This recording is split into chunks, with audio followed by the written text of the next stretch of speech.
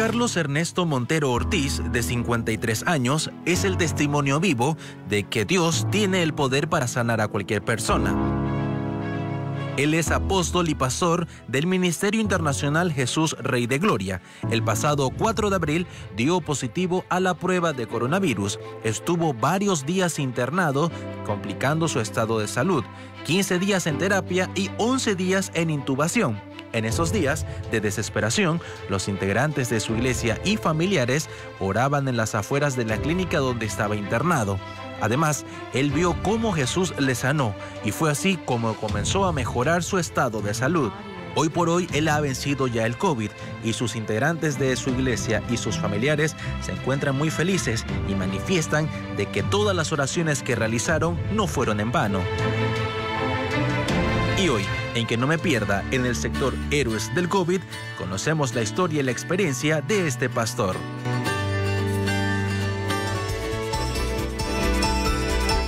Es una persona muy querida por, por su obra, obviamente, dentro de, la iglesia que ellos han formado, y digo ellos porque son una familia muy querida, es el, el pastor Carlos Ernesto Montero que nos acompaña el día de hoy, el Ministerio Internacional Jesús Rey de Gloria. Pastor, bienvenido. Me da mucho gusto verlo bien, verlo sano, verlo acá conversando conmigo esta noche. Así es. Gracias, Cecilia. También el gusto es mío de poder tener la oportunidad de poder hablar a la población sobre lo que está sucediendo y dar un testimonio de lo que está pasando ahora. Hay mucha muerte, pero gracias a Dios yo he sido muy bendecido y mi testimonio es que Dios me sanó. Dios me sacó del el lugar de muerte que estaba, de mucha muerte que hay ahora, pero Él me sacó y para venir a dar un testimonio de vida, un testimonio de fe y creo que eso es lo que hoy estoy aquí esta noche. ¿Cuánto tiempo estuvo internado, pastor? Estuve internado 21 días eh, de total de internación, de los cuales 15 fueron de terapia intensiva y 11 días estuve intubado. Intubado con un coma inducido.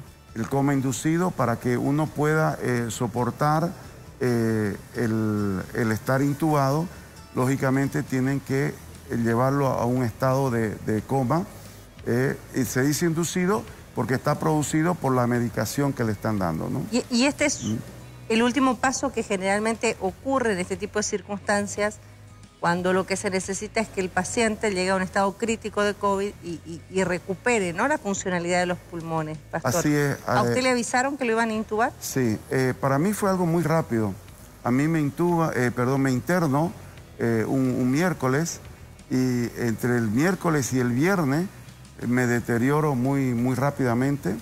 Mis pulmones de, entrar con un 30%, donde aparentemente yo estaba bien todavía, en, menos de dos días pasa un 70% e iba muy rápido. Entonces, 70% de compromiso pulmonar es alto. En, dos días. En horas. En horas. Entonces se veía que eso iba a avanzar muy rápidamente. Entonces ahí los médicos con la tomografía me hacen un examen donde no puedo estar eh, echado de, barriga, en fin, una serie de exámenes donde no los pude pasar y ahí me explican de que la mejor opción era intubar. Eh, nadie lo quería, yo tampoco, pero eh, ante la situación y lo que yo mismo, mi cuerpo, no podía respirar, no, no podía recibir el oxígeno necesario, entonces yo acepto ya de que si lo hagan y conscientemente, lógicamente, lo, hicieron. Avisamos a, la familia, eh, ellos tampoco querían, pero eh, tuvimos una experiencia muy dura ahí, donde ellos, ellas, mi esposa y mi hija, por una videollamada vieron cómo yo me deterioraba en una hora, cómo iba cambiando todo mi semblante, mi pecho que ya no aguantaba. Entonces no había otra salida que hacerlo. Pastor, ¿y cómo reacciona un hombre de fe ante esta circunstancia? Eh, esto fue algo muy, muy importante. Eh, yo siempre digo, ahora lo, doy testimonio, eh, me pusieron en un coma inducido donde mi cuerpo y mi mente estaban en coma, pero mi espíritu nunca estuvo en coma. Mi espíritu estuvo intercediendo, orando, haciendo una guerra espiritual. En el momento en que me hablan de intubarme, eh, mi esposa eh, mueve a todos los intercesores de la iglesia mueve a todos los amigos de, Santa Cruz, las iglesias, en muchas naciones, eh, en muchos países, amigos que siempre estamos orando juntos por las personas, se pusieron en una cadena de oración, de ayuno, y la iglesia y mucha gente amada, querida, se fue afuera de la clínica a orar por mi vida. Entonces esa guerra, esa intercesión que comenzó a dirigir mi esposa eh, durante todo el tiempo que yo estuve ahí internado, fue lo que hizo que ganemos una batalla espiritual, una guerra, donde eh, era impresionante la conexión espiritual que había, porque yo estaba luchando desde una inconsciencia eh, científica, pero desde un ámbito espiritual muy fuerte. Yo estaba luchando con la brujería, luego ¿Cómo con la brujería? El, asunto es que muchas veces eh, nosotros no entendemos lo sobrenatural, y hay lo sobrenatural de Dios y lo sobrenatural maligno, donde hay conjuros, hay eh, brujerías que, le echan a, las personas, a los pastores, a, las iglesias, a las personas que nosotros vamos y oramos por ellas y rompemos esos yugos de maldición, de brujería. Entonces todo eso quiere volcarse contra nosotros. Entonces ahí nosotros hacemos también una guerra espiritual porque la palabra de Dios dice que es más grande el que está en nosotros que el que está en el mundo. Entonces nuestra fuerza y nuestro poder espiritual es más fuerte que cualquier brujería. Pero hay que hacer esa guerra, hay que orar, hay que trabajarla y hay que ganarla. La batalla está ganada, Jesús la ganó en la cruz del Calvario y Él resucitó para que nosotros resucitemos. Yo resucité prácticamente en esa terapia intensiva porque en un momento eh, de, la, guerra que yo hacía, en lo natural, eh, ya yo me estaba recuperando del COVID mis pulmones ya estaban trabajando bien, pero entró una bacteria hospitalaria a mi cuerpo que eso eh, descompensó todo. Mis órganos comenzaron a, dispararse, todos mis órganos, y lógicamente eso podía derivar en un paro cardíaco, en una embolia, que es por lo que generalmente las personas que están intubadas están muriendo. Eso es lo que, lo, lo que hemos visto en esta última etapa, no sé si son las nuevas cepas, hay algo que está Muy rápido, ¿no? Muy rápido ocurre que una persona de repente está saliendo adelante. Por ejemplo, me enteraba de una persona hace algunas horas que estaba saliendo adelante, que prácticamente ya estaba a punto de ser pasado de terapia a habitación y le vino un paro cardiorrespiratorio. Así es, porque se dispara internamente todos los, órganos y salen de, los parámetros normales. Y ahí es donde viene la fe, ahí es donde viene eh, Ahí usted ya estaba consciente.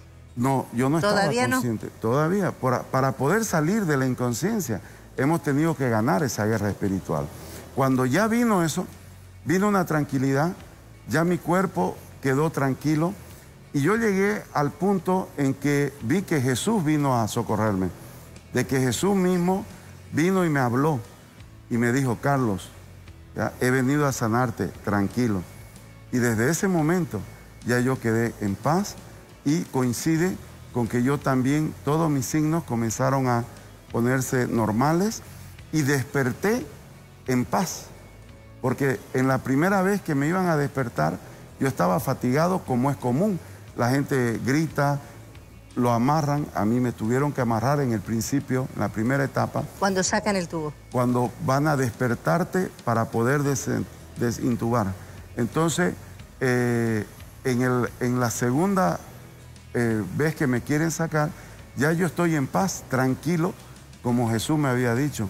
Y ya yo tenía la certeza en mi ser que yo estaba sano, que ya era tiempo simplemente para poder salir de la clínica. Pastor, lo que usted nos cuenta es un tanto, mucha gente dirá, difícil que ocurra el incrédulo, digamos, ¿no? La persona que, que atraviesa esta etapa, porque uno dice cuando uno lo inducen al coma, en realidad no sabe lo que pasa alrededor de uno ni con uno, es decir, está como en otra dimensión. Así es.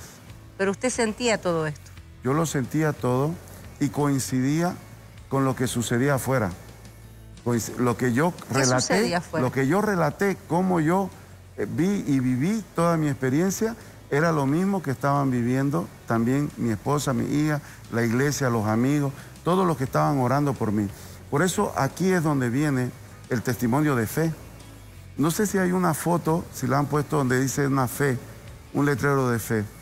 Antes que me metan a terapia intensiva, yo estaba internado, me mueven en mi cama y yo miro por la ventana y veo en la calle, pasando la calle, hay un estacionamiento de la clínica. Sí. ¿Sí? Y al fondo, ya, hay un letrero. Y yo le dije al Señor, le dije, dame una salida, porque cuando yo estoy en prueba, la palabra de Dios dice que cuando Él no, no nos prueba más de lo que podemos soportar y nos da la salida. Entonces yo le dije ahí, dame la salida. ¿Por dónde salgo?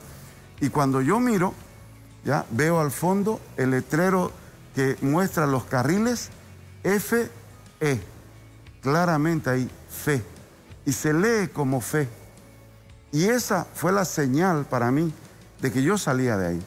Tal así que cuando yo la llamo a mi esposa y a mis hijas por videollamada y le digo, me van a intubar, pero tranquilas, me van a dormir y yo voy a despertar sano. Esa fue una palabra que quedó clavada en el corazón de ella, pero era por la fe que venía de creer realmente que Dios ya me estaba hablando. Y era impresionante. Y hay, unos hay muchos detalles, nos quedamos todo el programa de que no me pierda, pero este fue muy importante porque el letrero en la E muestra un carril donde hay vehículos, pero en la F muestra un paso peatonal eh, para entrar una puerta. Y fue impresionante esa señal que con eso yo empiezo mi lucha espiritual. Que, iba, que yo ya sabía que iba a salir, pero cuando uno lo está viviendo vienen muchas dudas.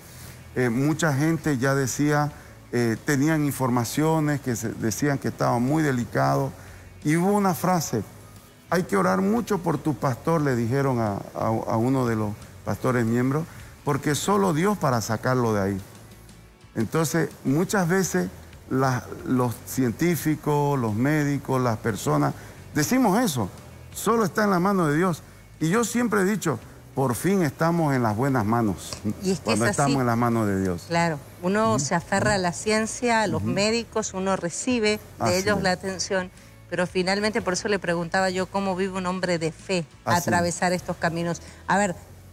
Con la palabra. Con la palabra de Dios, pero también con esa lucha interna. Así es. no, no están exentos. Dice que Él nos va a sanar y nos va a dar medicina. Dice, nos va a sanar y dar medicina. Entonces, la parte de la medicina es muy importante. Yo, gracias a Dios, he sido bendecido, he estado en buenas manos profesionales, he estado con buenos medicamentos, eh, pedían una cosa y, la nación se, se, movió por dos inyecciones que, que no había en ese momento en Bolivia, esas ampollas se movieron, la tecnología de la clínica, todo eso estuvo al servicio mío. Y eso es grande y lo agradezco porque, porque fue real. Pero lo que te da para salir de ahí es la mano de Dios. No hay otra, no hay otra salida, creo yo, no porque sea un hombre de fe como usted lo dice, sino porque lo he experimentado. Yo también soy arquitecto, yo soy técnico, yo también sé lo que es la ciencia, sé lo que es el protocolo, sé, eh, em, he, sido, estado en la industria petrolera trabajando, eh, conozco todo lo que es lo humano y sé que eso está al servicio del hombre, pero tiene un límite se acaba. Y cuando eso se acaba, recién nosotros buscamos el poder de Dios. La diferencia de un hombre de fe, una mujer de fe, es el que busca todos los días, cada mañana agradece a Dios. Eh, recién tuvimos un día de, nacional de oración por los enfermos y yo no podía orar. Nosotros como iglesia teníamos una hora para orar y así todas las iglesias de, Bolivia oramos el domingo anterior y yo no podía orar porque solo lloraba y agradecía a Dios por estar vivo, agradecía a Dios porque eh, pude tener una atención pronta, una gran atención. Pero cuando Dios sana, Dios te sana en el dormitorio más humilde. Hay personas que están solas y sanan porque Dios está ahí. En los hospitales, el hospital más humilde, la posta sanitaria, allá en un pueblito, en la selva, en el monte, en el campo, Dios sana. Pero es cierto también que hay personas que están muriendo por falta de oxígeno. Hay personas que, que, no le llegó el oxígeno en, esas horas y muere. Está duro. Y yo le voy a decir algo ya como testimonio y que tengo que decirlo y creo que es algo que puede aportar. Eh, en Navidad y Año Nuevo, eh, mi esposa, mis hijas, mis suegros, que vivimos en la casa, de cinco que vivimos, cuatro se enfermaron de COVID y yo no. Y del núcleo familiar de 19, 14 se enfermaron. Y yo era uno de los cinco que no enfermó. Entonces yo creía que ya no iba a enfermar. Y me descuidé en un momento. Una semana que me descuidé, no supe en qué momento me contagié. Entonces no debemos, no debemos descuidarnos, no debemos bajar la guardia, no solo en el pico. yo, yo no me enfermé en el pico, por si acaso. Yo me enfermé cuando estaba todo normal, todo tranquilo, por eso ahí hubo un descuido. Entonces, el mensaje también que yo traigo es un mensaje de que la bioseguridad es parte de la ley de Dios. Dios nos dice que obedezcamos la ley de Él y la ley del hombre. Entonces la bioseguridad es una ley, además que está en la Biblia y en el Antiguo Testamento ya Dios habla de la distancia, de lavarse las manos. Entonces, tenemos que aprender esto. Pastor, yo le quiero agradecer. Usted lo decía muy bien. Podríamos quedarnos toda la noche, además que sé que están llegando muchos mensajes de, felicidad al verlo esta noche aquí dando su testimonio. Le agradezco muchísimo. Creo que le va a servir mucho a tanta gente que hoy está atravesando y cursando la enfermedad o tiene un familiar enfermo. Gracias, Pastor, por estar aquí. Muchas gracias a ustedes y dejarle el mensaje final. Crea en Dios. Cuando tenga un enfermo, empiece a orar, guerree por él, que él va a salir y va a estar de nuevo con su familia. Dios los bendiga. Gracias, Pastor Carlos Montero, igualmente. ¿Ah? Amén. Gracias. Sebastián, por favor. Gracias, Cecilia. Muy buenas noches, Pastor. Amigos, nos quedamos con este último mensaje. Es grato escuchar su testimonio y saber podemos encontrar fe ahí, al final, de repente, pero tenemos que tenerla siempre en la mano, siempre en el corazón. Nosotros nos despedimos esta noche, así que Cecilia, muy buenas noches y será hasta mañana con mucha más información. Cuídense. Buenas noches, Cecilia. Gracias, Seba. De verdad que sí, ha sido un lindo testimonio. En realidad digo, bueno, porque hemos tenido la oportunidad quienes conocemos al pastor, a su esposa, a su familia, felices de verlos, de verlo bien, de ver lo que ha salido de esta enfermedad. Y ojalá que estas palabras puedan calarnos profundamente a todos. Sigamos cuidándonos, por favor, sigamos siendo responsables pero por sobre todas las cosas tengamos fe. Esa palabra que a veces nos resulta muy difícil en esta lucha interna que tenemos como seres humanos. Gracias, como todas las noches, a Casa Robert Dona por acompañarme. Ahí está. Hoy, saquito, como siempre, hace frío, así que bueno, colección otoño-invierno. Gracias, Casa Elena, como todas las noches también. Y por supuesto, muchísimas gracias a H2O que se encarga de mi arreglo día a día. Hasta mañana, Bolivia.